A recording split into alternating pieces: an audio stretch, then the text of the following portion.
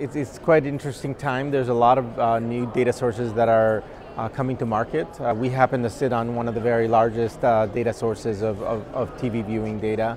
Um, what's interesting for us is that we see some of these other data sets as uh, complementary but not really substitutes. And that's because they, they bring different attributes to the table. So for example, uh, smart TV data uh, makes it possible to, to, understand OTT viewing of uh, TV content that has already been fingerprinted because essentially they rely on recognizing uh, content that has already been fingerprinted. So if that's TV content, then we can understand uh, how that content is being consumed on a smart TV device um, by recognizing those respective signatures. Um, so that's on the, on the plus side, right? You can recognize some OTT content. On the downside, um, we know from our own uh, set-top box data that on average, uh, our, our subscribers have 2.6 set-top boxes, right? Whereas the smart TV data on average is 1.1 devices per home.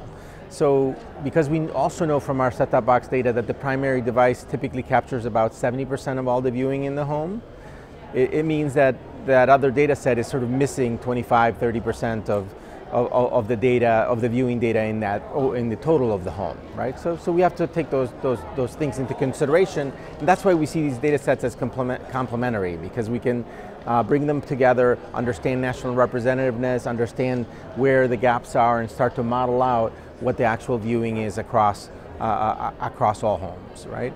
And then there are other data sets that are derived also from uh, automated content recognition, primarily audio-based, that are picking up basically listening, devices that listen for what's in the background and they recognize some of the TV content that's playing in the background and even the advertising content that's playing in the, in the, in the background.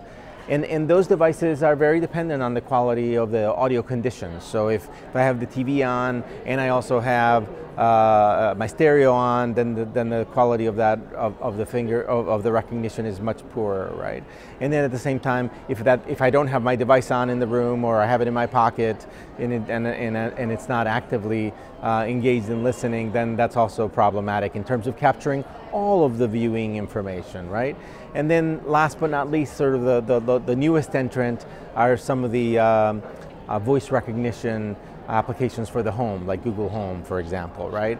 And, and what we know is because the X1 uh, set-top box for Comcast has audio-based controls, we know that in our Comcast subscriber homes, uh, about 15% of all the commands are via voice. The rest are still sort of via the traditional remote. So if you're relying 100% on voice command data, you're going to be missing out again a lot of the of the viewing data. You may you may be able to pick up something new that is like what are the types of programs that people are so engaged with that they actually call them out by name, right? Uh, but at the same time, you're not capturing the full breadth of the viewing data. So we feel very good about our position in terms of having a, a, very reliable data set, but we also welcome some of these new entries because we do think that they're complementary to, to, the, to, to better understanding overall TV viewing.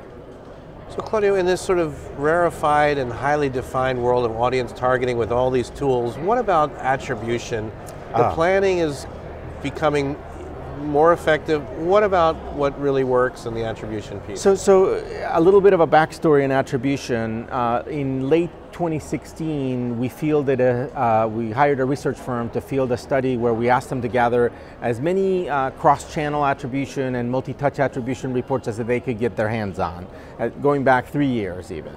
And they came back with 164 different studies and uh, what was interesting about those, even though these were supposedly cross-channel attribution studies, uh, only 12 out of 164 included television. Okay?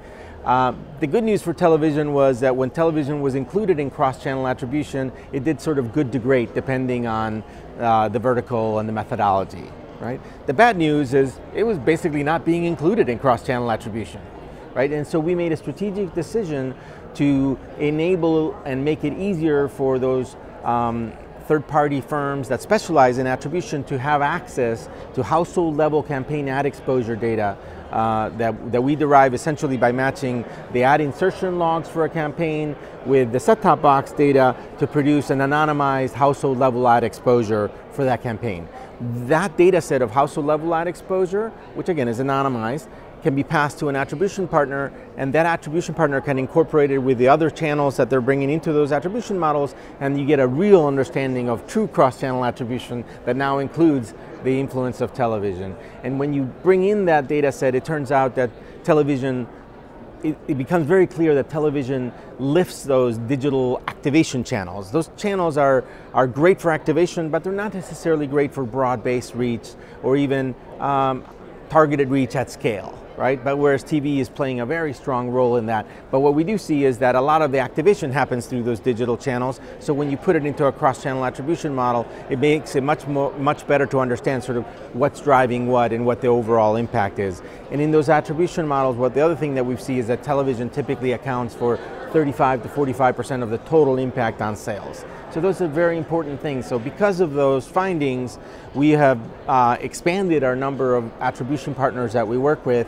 We started with two at the beginning of this of uh, 2017, and we ended the year with 12, and we're onboarding another. Uh, we'll onboard another 10 to 12 more through this through the rest of this year. So we're not trying to play favorites in terms of uh, who you use to measure uh, the effectiveness of your campaigns. In fact, most advertisers tend to already have attribution partners that they choose to work with. And, uh, but we're making it easier to, for those attribution partners to access uh, household level ad exposure data so that their attribution models can include the impact of television.